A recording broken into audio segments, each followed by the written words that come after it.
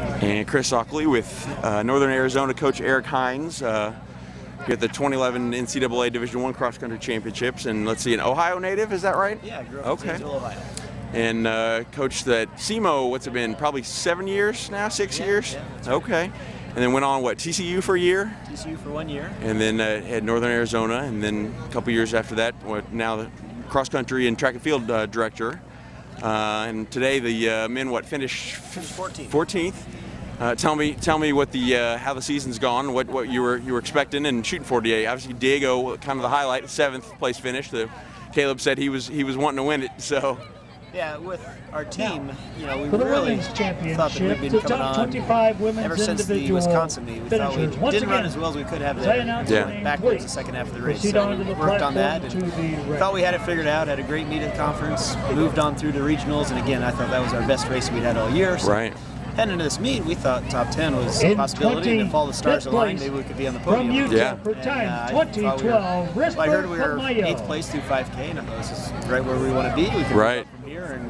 Move up from here and finish pretty strong. And unfortunately, uh, only a couple of our guys moved up, and most of them In went 24th backwards. place. Yeah. One From unfortunate incident, a California, guy fell down, time, got tripped. and 20 so minutes 11 It definitely wasn't the seconds. finish we were senior hoping for, Chelsea but those, those races happen sometimes. Yeah, yeah.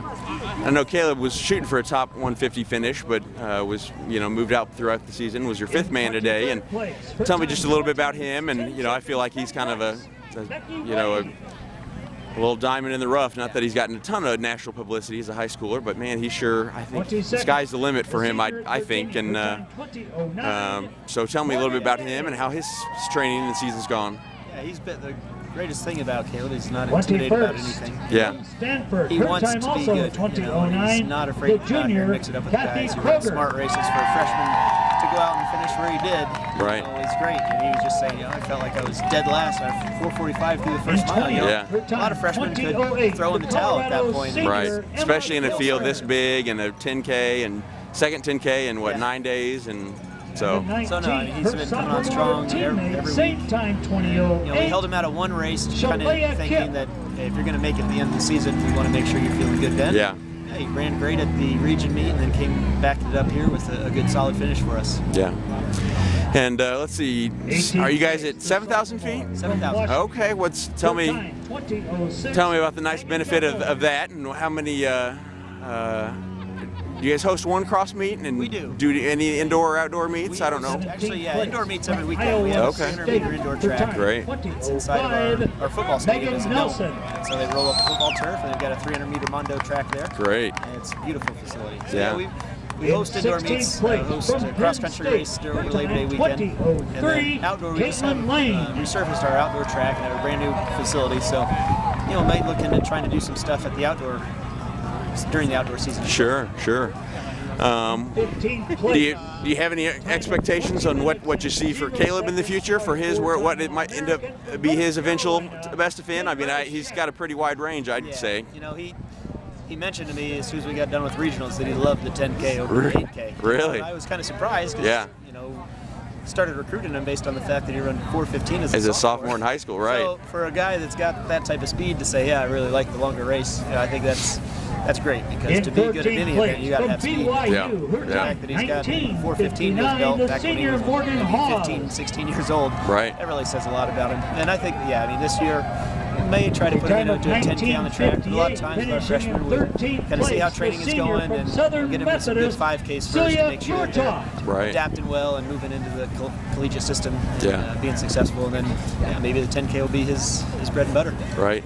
Time of Any big highlights or memories from your time at Cape Girardeau at. S, S at SEMO? Um, I know Miles Krieger is also here today, who's Yeah. followed you there and uh, working. Who's Well, yeah, I mean, being at Southeast was great. Just In the 11th experience that I from got, and Coach Joey her Haynes time, there, you know, was a Hall of Famer. 1953, Yeah. and Eric Deborah Becker is the head Mayer. coach now. Being able to work with those guys and just getting my opportunity to get my feet wet. Yeah. You know, in terms of coaching and training a group of guys and girls. Um, you know, probably the highlight was our The top first 10 Ohio Valley in 10. Conference Championship. The You know, senior we from went in and Loyola Marymount, our distance runners on the 1951 men's her side scored a ton of Tara points and Erdmann. Yeah. propelled the team to uh, to victory. And you know, a lot of those guys are just walk-on kids that uh, didn't do much out of high school. In and to ninth, see Right. them time, going to that Ohio Valley Conference meet and, and run as well as they did, I, that was one of my highlights. Sena. yeah, yeah. Now was Lindsay Zeiler? Did she run for you at all? Yeah, she okay. Well, now she now she's a an assist, grad place. assistant, I guess, at time, FSU, and uh, hopefully I can West catch up with her. But uh, Kate Harrison. um, but yeah, so it's neat to see just the people that stick around the sport, not just come in, you know, compete and then you never, Time you know, the interest doesn't still there to at some extent. So, but well, thanks for the time today, and uh, it's a pretty neat story about Diego and just becoming a U.S. citizen. And uh, um, great congratulations to his race, and uh, keep up the good work. all right thanks a All lot. right, thanks.